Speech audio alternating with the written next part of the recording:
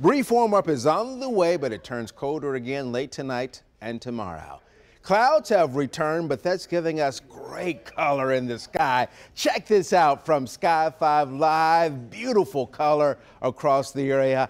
I showed you a picture just a moment ago. Love it when you share pictures. My 5 at newschannel5.com or hit us up on our social media accounts.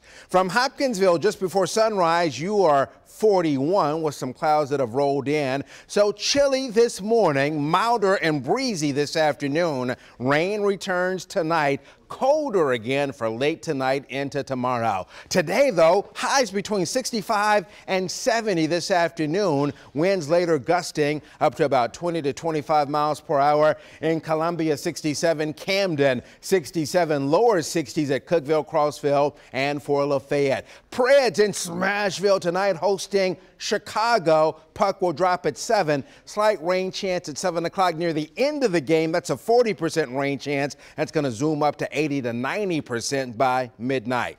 High pressure is giving us good weather but it's this complex, this system that is on the way for tonight. So exact track right now with projected temperatures today showing a nice warm up this afternoon. This is 7 o'clock, so there's that rain chance west northwest. Then by 10 o'clock, more showers moving in. For a lot of you, the rain is between 9 p.m. and midnight tonight. Mainly rain, but a rumble of thunder a possibility. Look at exact track at 7 o'clock. See that 58? Then look at 37 in Murray. Oh, there's the cold front at front will come through. So this shows by 8 o'clock at Nashville number dropping to 46.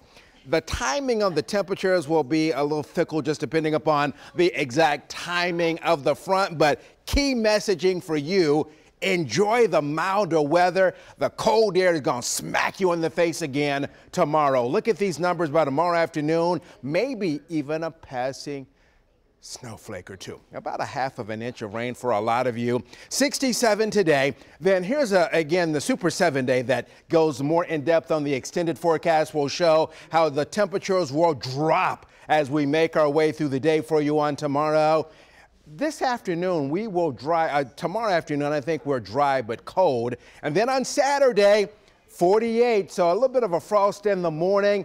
Smoke on the shores. Nick and I will be over there judging some whew, fantastic barbecue. This is usually at Nashville Shores. It's gotten so big, they've moved it to the Expo Center in Lebanon. And then on Sunday, a hard freeze in the morning, another hard freeze on Monday.